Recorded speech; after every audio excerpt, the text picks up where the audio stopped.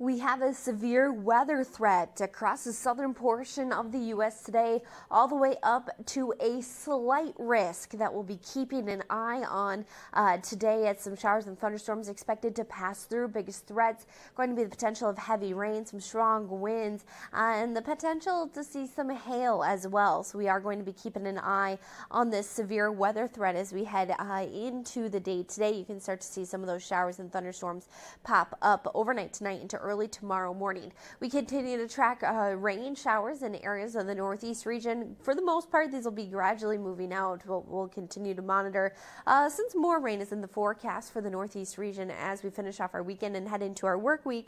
And we'll also continue to talk about some rain and snow along the Great Lakes with some lake effect snow possible for areas in the upper peninsula of Michigan that we're going to be keeping an eye on. And then with showers and thunderstorms in areas in the southwest, we are going to be watching for some flooding concerns as we head into the next couple of days. So, quite a bit going on uh, as we deal with that precip, but we're also going to be dealing with some hazy sunshine in areas of the northwest thanks to some smoke. So, uh, we are going to say that sensitive groups in the northwest region urged to take caution as we are going to see those smoky skies today with a high temperature of 84 degrees in Portland, Minneapolis heating up to 56.